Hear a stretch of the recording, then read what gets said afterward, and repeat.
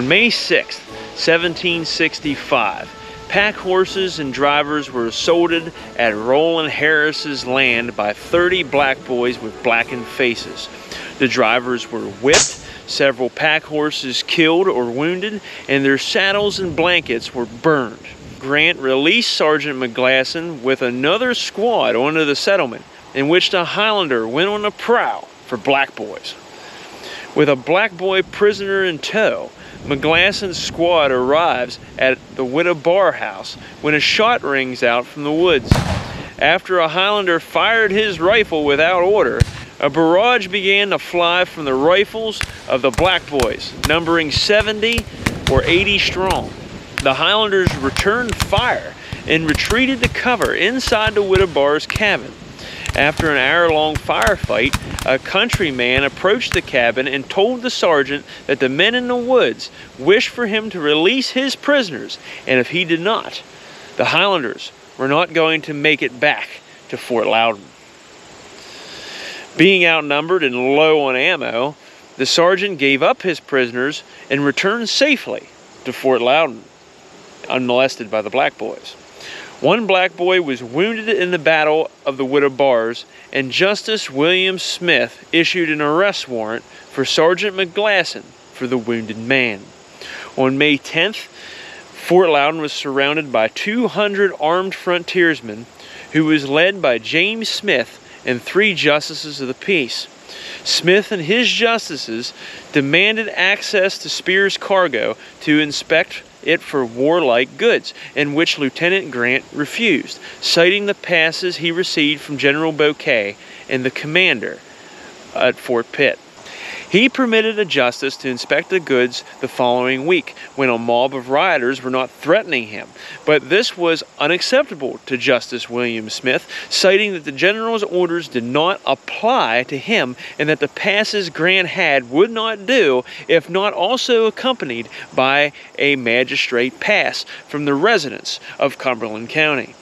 William Smith put civil law over military law or military rules by saying that the province of Pennsylvania built these roads and this fort. So they are not the king's property to do as he wished with. They belong to the citizens who had control over who can travel them and who cannot travel the roads. Grant refused to comply. While Croghan was securing peace with the Indians at Fort Pitt, the citizens of Cumberland County continued to patrol the roads in search for illegal goods. When word reached James Smith that Lieutenant Grant was riding on the road, he and four black boys ambushed him and took him prisoner. They marched him into the wilderness for a night and threatened to take him to the wilds of Carolina and drop Grant off in the middle of nowhere. When Grant believed them, he agreed to sign a bond agreeing to give up the guns he still had stored here at Fort Loudon within five weeks, or he would have to pay 40 pounds as a fine. He was released and returned back to Fort Loudon, where he kept the guns and refused to honor the bond since he said it was signed under duress.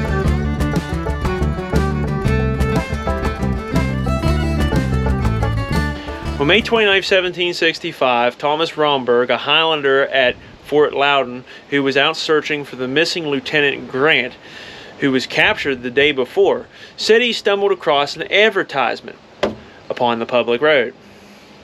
When he arrived back at the fort after Lieutenant Grant was returned, he told Grant of his find.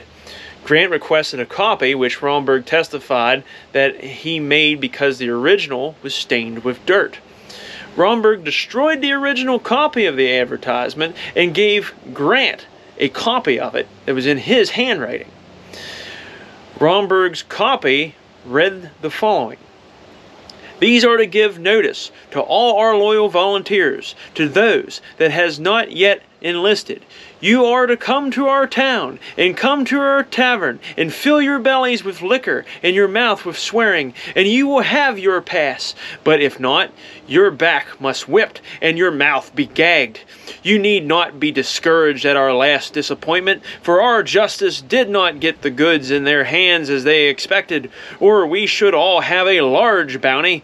But our justice has wrote to the governor, and everything clear on our side, and we will have Grant, the officer of Loudon, whipped or hanged, and then we will have orders for the goods, so we need not stop.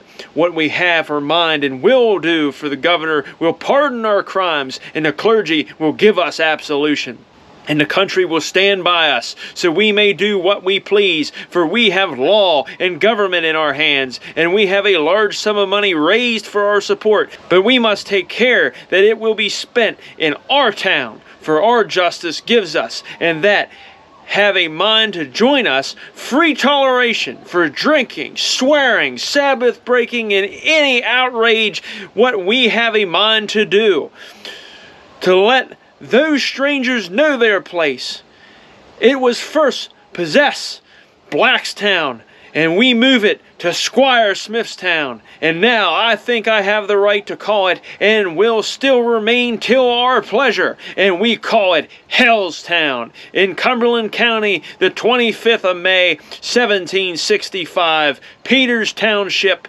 Your scripture says that the devil is the father of lies, but I assure you, this is the plain truth what I say. God bless our brave, loyal volunteers and success to our Hell's Town. Clearly, the wording in this advertisement is written like a parody, and the need for advertisements in May of 1765 was not really needed since it seemed everyone was on board with the actions of the Black Boys movement in this area, so it was pretty clear that this uh, advertisement was a fake. The question was, who faked it? Was it the traders? The Highlanders, an extra flamboyant local? No one really knew. But Justice William Smith pursued Romberg since the only hard copy of the advertisement was in Romberg's handwriting, which pointed to him creating a fake advertisement and using the story of finding it on the road and it being dirty to cover up the fact that it was in his handwriting. With William Smith's allegations towards Romberg, many suspected Romberg as the culprit. While the dispute over the advertisement was hitting the desks of so many people, Croghan's successes at Fort Pitt with an established peace with the Indians encouraged Governor Penn and his council to consider what to do with the No Trade Proclamation. Should Pennsylvania open trade to the Indians? The governor made his decision.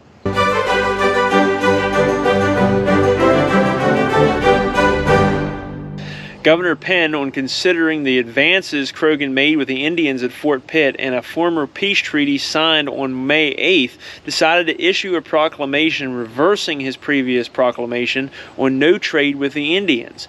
The new rule stated that from and after the 20th day of June instant, all intercourse and trade with the several nations and tribes of Indians in amity with the crown of Great Britain and living under His Majesty's protection shall be free and open to all persons residing in this province who shall apply for and obtaining my license to carry on such trade under the provisions and restrictions mentioned in the said royal proclamation. And whereas sundry persons have at several times lately assembled themselves in armed bodies on the western frontiers of this province, and have, in a most riotous and illegal manner, presumed to interrupt the passage of all kinds of goods to Fort Pitt, by which the garrison there has been greatly distressed, and that small parties are now encamped and lying in wait for the same purpose on the road of communication to that post. I do hereby strictly charge and command all persons whatsoever so assembled forthwith to disperse themselves and desist from all such illegal proceedings and practices. I do further enjoin and require all magistrates, sheriffs, and other officers to use their utmost endeavors at all times to quell and suppress all riots, tumults, and disorderly proceedings tending to disrupt the peace and quiet his majesty's subjects, and also to be aiding and assisting in discovering and apprehending all persons that may be in any manner concerned therein, that the offenders may be persecuted according to due course of law given under my hand in the great seal of the said province at Philadelphia, the fourth day of June, in the fifth year of his majesty's reign, and in the year of our Lord 1765, John Penn, God save the King. Trade was now open to the Indians, which no longer gave the black boys and the inhabitants of the frontier a legal reason to maintain their patrols of the roads. But for some time after this proclamation took effect, the black boys still waylaid and inspected pack trains for illegal trade goods.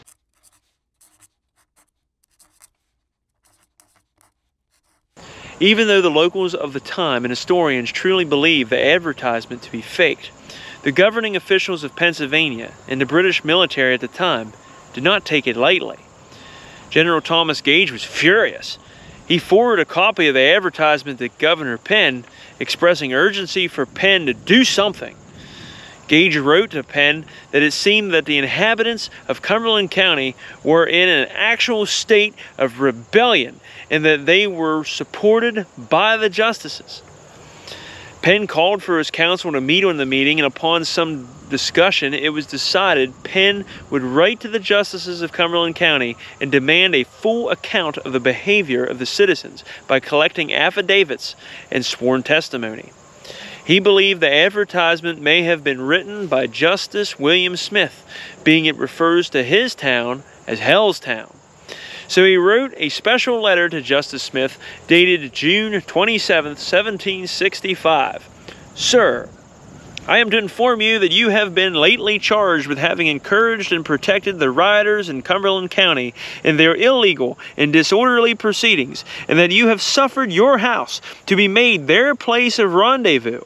This was complained of by Lieutenant Grant and Justice Maxwell to Lieutenant Colonel Reed as it is necessary for your own honor and my satisfaction that you should clear up the matter if it can be done, I do require you to appear before me at Philadelphia on Tuesday, the 30th day of July next, to answer these new charges, on which occasion I have also required Justice Maxwell to be here. I am, sir, your most obedient humble servant, John Penn. Justice William Smith was summoned to argue his case before the governor and he accepted with open arms.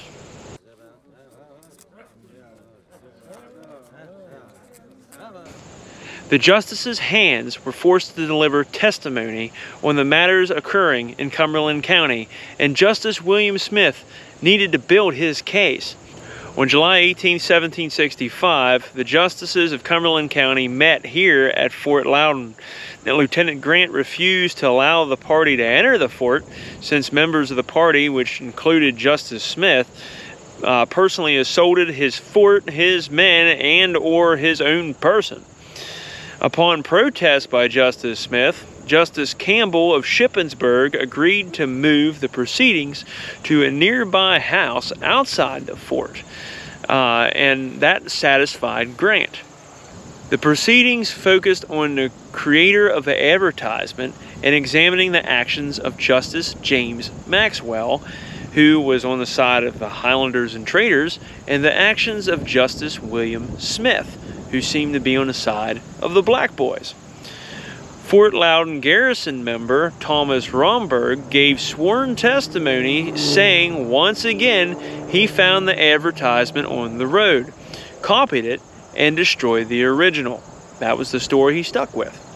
Henry Prather made mention of some of the proceedings, but makes an interesting statement where he says that the justices sworn in certain individuals by making them swear to tell the truth, the whole truth, and nothing but the truth, and answer all such questions as should be asked. But other individuals, especially ones who agreed with Justice Smith's conduct in the affair, were only sworn to tell the truth and nothing but the truth without mentioning the whole truth and answer to such questions as should be asked. This suggests that the justices may not have been completely fair.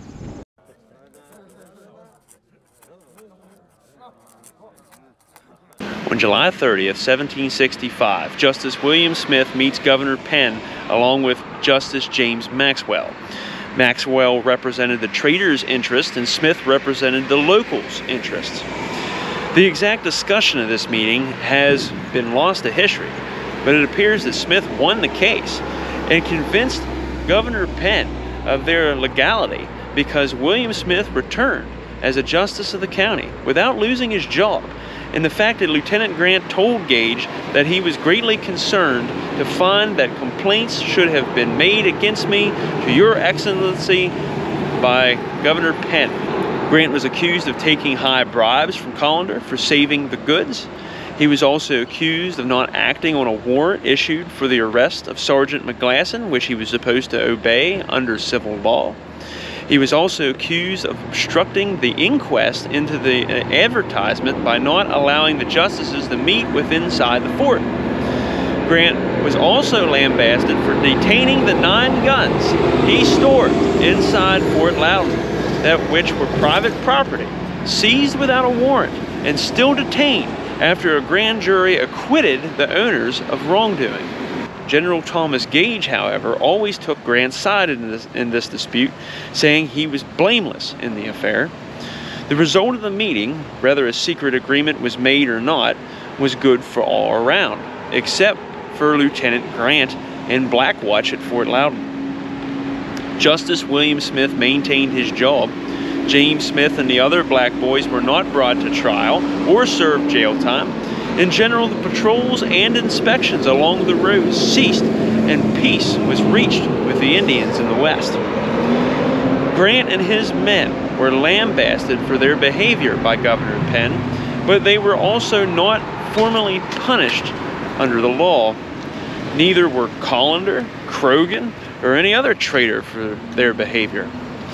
Once Justice Smith returned from his successful trip to Philadelphia, he targeted Thomas Romberg with a warrant to get him to admit to being the author of the notorious advertisement that caused a lot of this mess.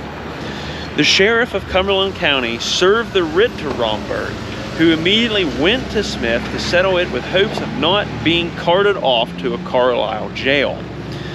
Justice Smith said it could be settled if Romberg would tell Smith who offered the advertisement. Romberg still stuck with his story of finding it, which Smith said, the law will condemn you, that you are the author. Justice Smith said he pitied Romberg for being so ignorant of the law. Romberg replied with, all that they or you can do to me would be to hang me or send me out the country. No, said Smith, but it will cost you some money. Mr. Christie and Mr. McCormick, who were other fellows within the room at the time, which was either here at uh, Smith's house uh, at this location or at Cunningham's Tavern down the street, began to talk to each other, which prompted Justice Smith to say, Gentlemen, none of your whisperings upon this affair. Romberg wrote directly to General Gage asking for protection from Justice William Smith in hopes that the British military would protect him from the local lawmen.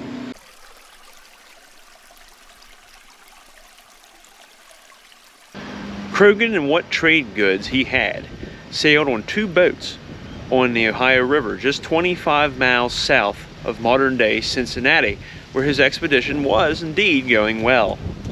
Croghan's party, while camped on the banks of the river on June 8, 1765, was attacked by 80 Kickapoo and Mascouten warriors at daybreak. These natives were previously allied with the French and distrust the English, in which Croghan was representing, of course. This resulted in killing or wounding the majority of Croghan's men, a lot of goods being stolen, and a lot of loss of, of equipment. Croghan received a tomahawk wound to the head. Now Croghan wrote, I got the stroke of a hatchet on the head, but my skull being pretty thick, the hatchet would not enter. So you may see a thick skull is of service on some occasions. While recovering from his wound, Croghan was able to successfully negotiate a treaty with the tribes that attacked him to agree to the British occupation of Illinois, proving his skills at Indian relations. In July, Croghan negotiated with Chief Pontiac, and in August, negotiated peace with all Indian tribes that were present at the meeting. Thanks to Croghan, Pontiac's war was officially over. Despite still facing charges for shipping illegal trade goods through Pennsylvania on a military pass, in March, Croghan visited General Gage in New York City in October. Croghan was a hero and now could not be touched. A skill that got Croghan out of so much trouble before and now worked once again. But there was still one final thing that had not been resolved, and that was the nine guns that Grant still held at Fort Loudon. Private property of the inhabitants of the Conococheague settlement, seized illegally by Grant's Highlanders.